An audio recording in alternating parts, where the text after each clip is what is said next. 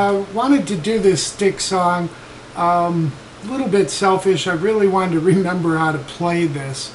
And I kind of enjoy strumming it more than picking through it, but for realism, uh, I thought I'd throw in the picking part. On guitar.com, Dr. Rocker does a really great version of this and how to play it uh, finger picked and uh, add some to that and there's the leads but I'm going to focus on the 12 string here and what I'm doing to play it. Um, what we're doing is A minor 7th alright so we take an A minor and we're lifting up our ring finger and what we're going to do is hit the first two strings the 5th and 4th and then come down to 2, 3 and then 2, 1 and that's pretty much the picking pattern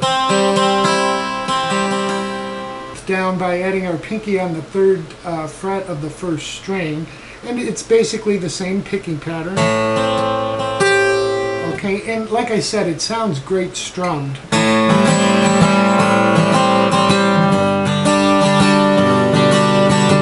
But you know it's it's up to you whatever way you uh, feel best to do it.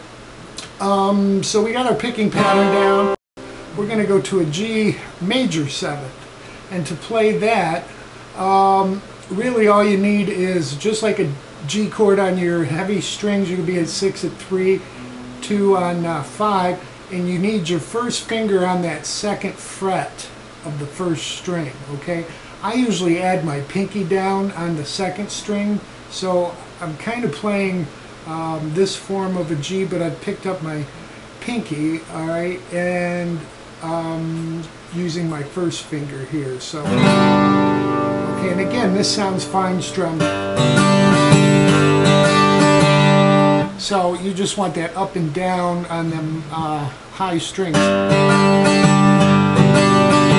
But again, if you're picking through it, it'd be, you know, six and five and then two, three, and two, one. All right, and then we go back what we're going to do is pick through an A minor 7th. We'll start on the 4th string, 3-2. We're going to move that up a full fret, same strings, 4-3-2. Move both fingers up to the 5th fret.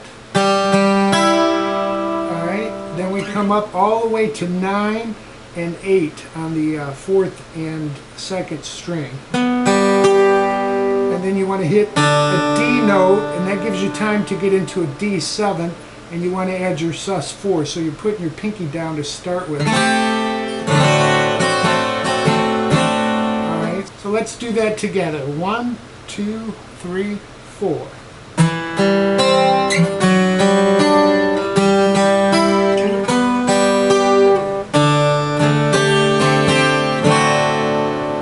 Alright, so we got our D7th and then we're back into our picking pattern. Now he'll do the A minor into the, and then G, major 7. Alright, the second time through here, he's going to go, just like we picked up, we're going to go all the way up to 9. But this time we just come back to our G major 7th. So now um, we're at this G major 7.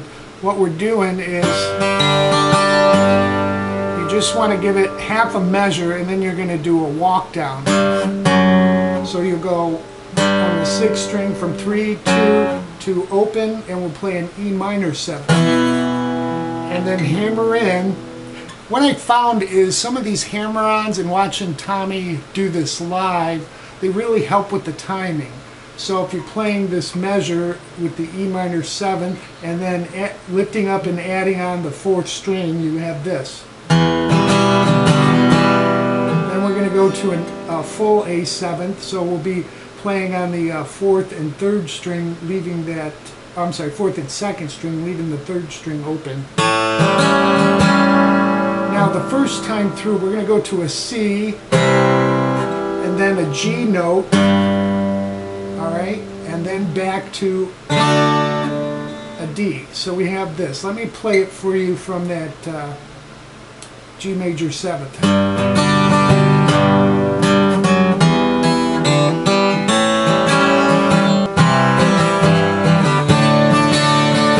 The second time through, you'll go from the C bass note, G, back to C, and then a D. So there's a little extra C there. But again, those notes help you with your timing. So we'll take it from the G major 7th.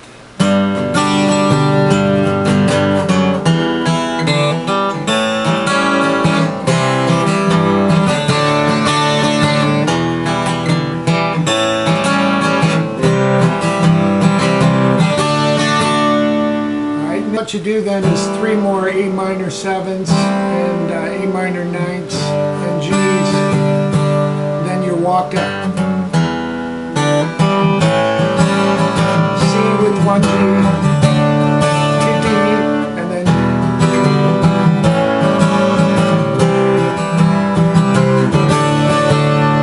and then you're into the bridge, which they say, "Tell me, tell me." So we'll go into the bridge here. Um, I'm going to take off from the C, G, back to C root note and then D. And I'll do the first two like I've seen Tommy play it one way and I've seen him play it another way. Um, so I'll do two of each and then we'll be into the chorus. So here we go from the C,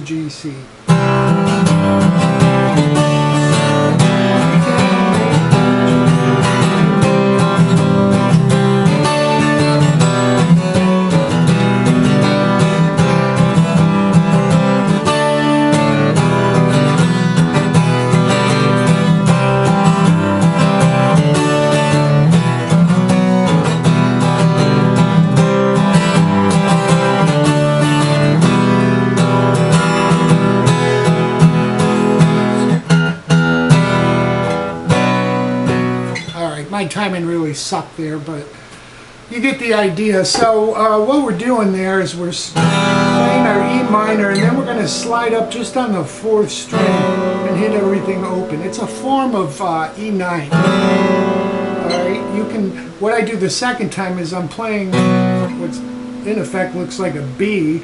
I'm on the fifth string at the second fret and that fourth string at four. That is an E9. Play all the strings and then back to your um, E minor, and then you're going to hammer in, okay? So that kind of helps you with the timing again.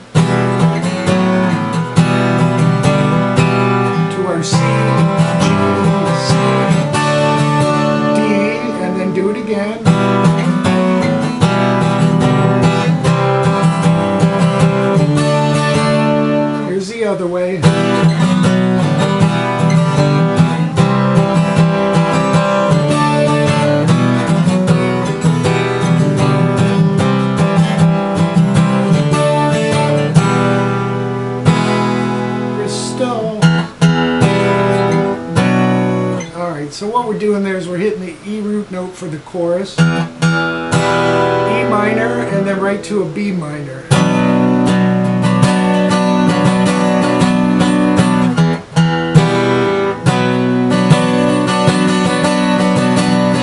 One more time for a total of three.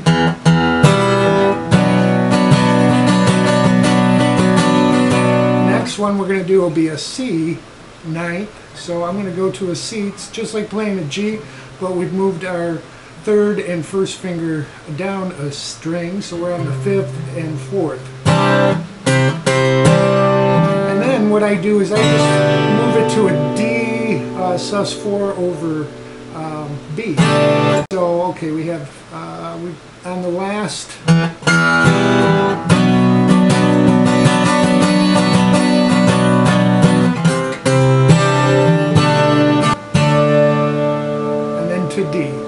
Alright, so if you want, you can play a C to a B minor.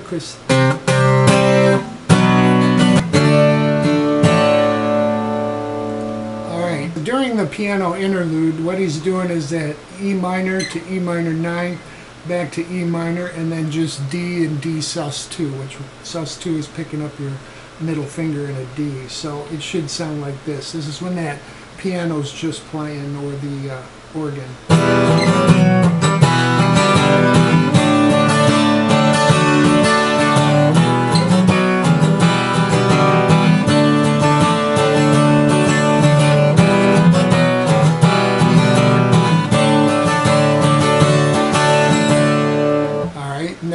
Us into the next part. So after the interlude, they'll come in with a pretty heavy guitar part, and what they're doing is a C to a D to, you can do this uh, B over sus4, all right, if you like, or you can play a full B sus4, so that'd be like we're covering the fifth string here on the second fret, then we're barring across the fourth fret of the fourth and third string and our pinky is on the second. Okay, so you have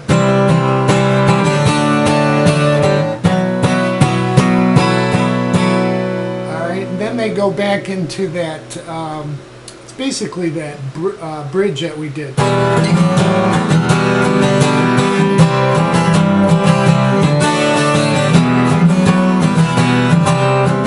It's played with a lot more and that's strummed a lot harder. So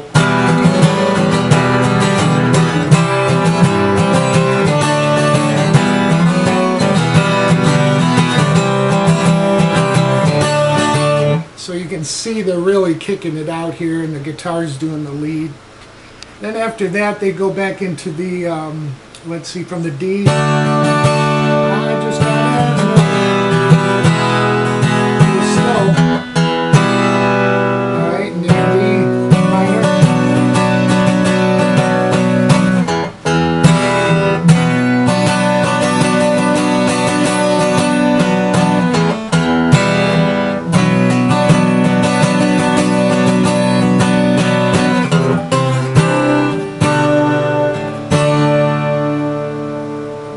right, that's the song. So I really hope that helps everybody. It's just a beautiful song and it's kind of a selfish lesson. I don't want to forget how I play this and I hope it helps everyone with this version.